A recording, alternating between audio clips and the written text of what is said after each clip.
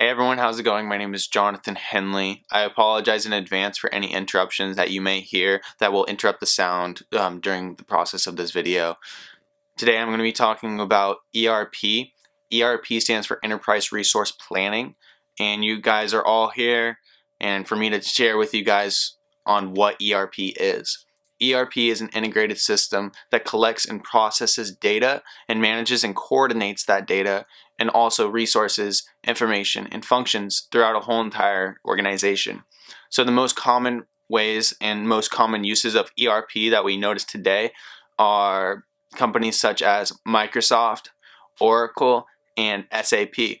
So I would first like to start off with just examples and just one big example that I saw in a YouTube video that I will link down below is it shared more about retail and how ERP functions within a retail industry. So with that being said, let's jump right into it. So say you have a company that is doing clothing. For your company to be successful and you to have everything in control, you would need an ERP system. This ERP system will not only help you understand what your company needs to function properly. And it, with that being said to be functioning properly you need the right materials to be used. You need the right amount of numbers of people to be used within the workspace. And also the the amount of work so that the time that is needed to have everything be done. With an ERP system all of those questions everything will be figured out for you right on the spot and you will not need to do it all manually by hand.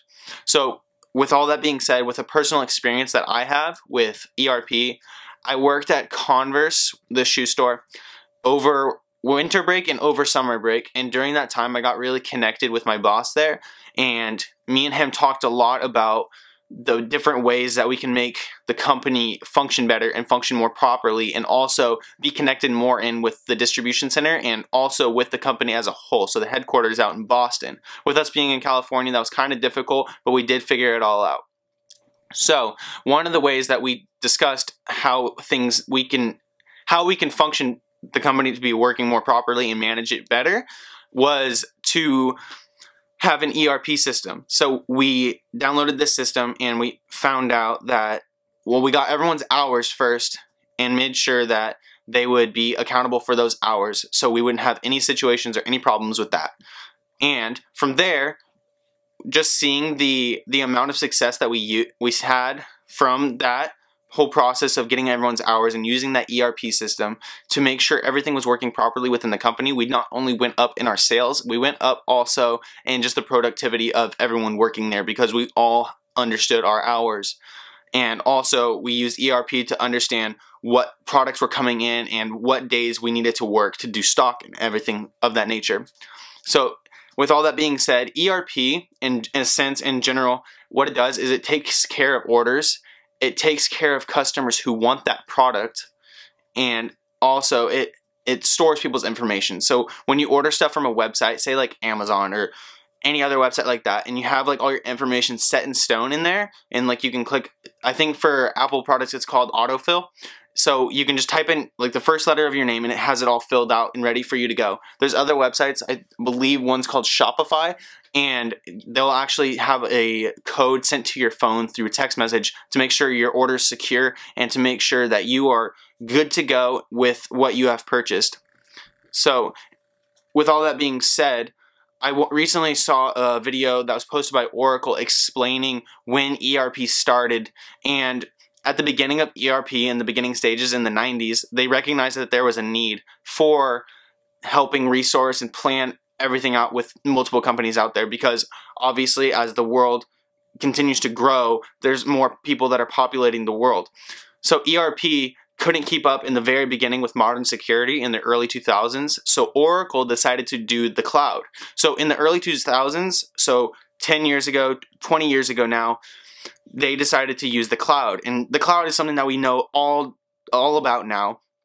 And from this problem of from happening in the early 90s, the cloud was used to help secure everyone's information. And obviously, even to this day, people are skeptical about the cloud, but ERP is what really helps push forward what the cloud is.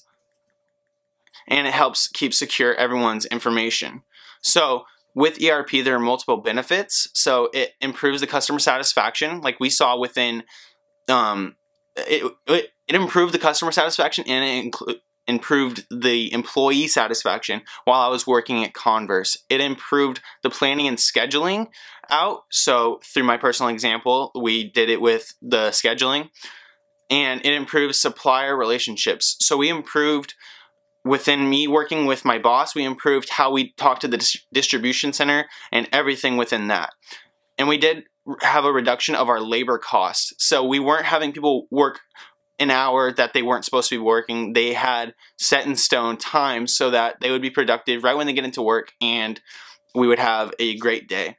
And it also increases the sufficiency. So through our me and my bosses talking of everything to make our work better, we had a lot of sufficiency between us and our customers that we had within the store and, and also the, the relationship between the associates and the upper management.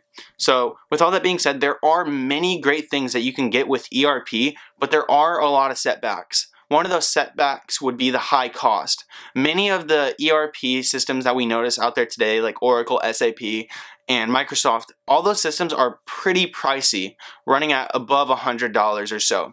And there's also a difficulty in the installation process, but you can always use their step-by-step -step programs that they have to help you out with that. And there's also a need for training. So with everything, it's going to take time for you to be great at what you're doing, and especially when it comes to ERP. And there's also a compatibility problem with the legacy systems. Um, excuse me. With all that being said, there's a lot to be talked about and a lot to discuss, but hopefully with what I shared with you, you guys can understand a gist of what ERP is and how it has not only benefited me, but, but looking forward and how it could possibly benefit future companies that you guys may work for or anything within the future of what you guys are doing. I hope you guys have a great rest of your day and I hope you guys kill the rest of the semester. Have a good one, guys.